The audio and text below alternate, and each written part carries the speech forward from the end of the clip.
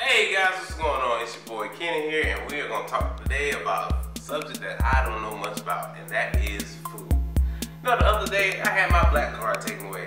I didn't even know you could lose your black card. I'm like, I can, I, you can, you can take, you can take my, my black card away from me, and just, just, just, just kind of okay, just, just like that.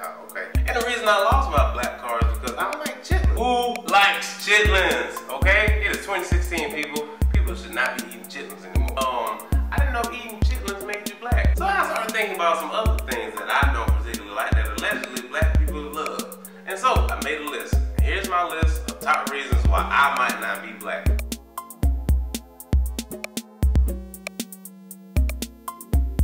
Number one, chicken. I do like chicken. I just don't like chicken on the bone. I like chicken nuggets.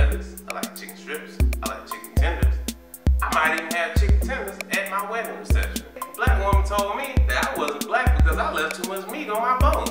And why are black people so closely associated with eating chicken anyway? Because every time I'm at Chick-fil-A, I'm in the minority. It's just me and Kevin on the register. Number two, ribs. Eh, I tried it, I don't like it. I just ended up eating all the sauce off of it. Number three, macaroni pie, baked pie. I mean, they got it. I mean, I, I guess I dabble a little bit or something.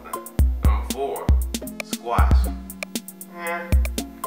Number five, collard greens. Eh.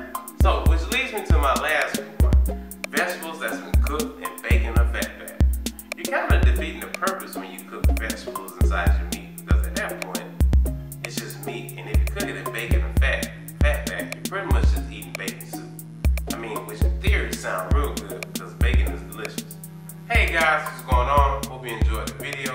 Top reasons why I might not be black. If you have some reasons why you might not be black, feel free to add them in the comment section below.